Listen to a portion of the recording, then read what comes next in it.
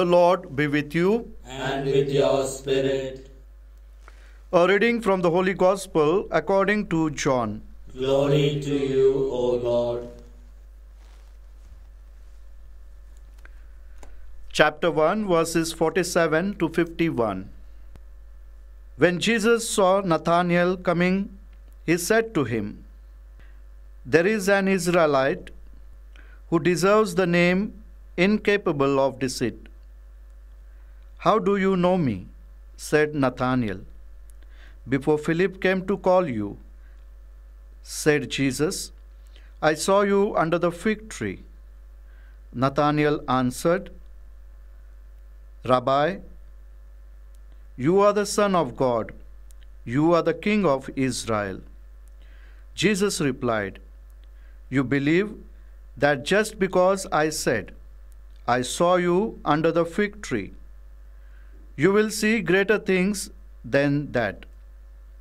And then he added, I tell you most solemnly, you will see heaven laid open, and above the Son of Man, the angel of God ascending, the angels of God ascending and descending.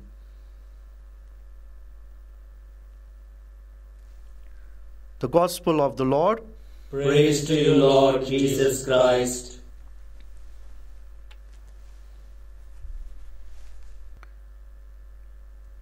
My dear brothers and sisters, today we celebrate the feast of the three archangels Saint Michael, Saint Gabriel, and Saint Raphael. Archangels are one of the nine choirs of angels. My dear brothers and sisters, today's feast is an opportunity to learn more about them and to grow in deeper devotion and fondness of them.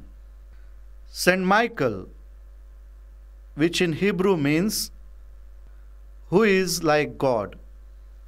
He is the Prince of heavenly host.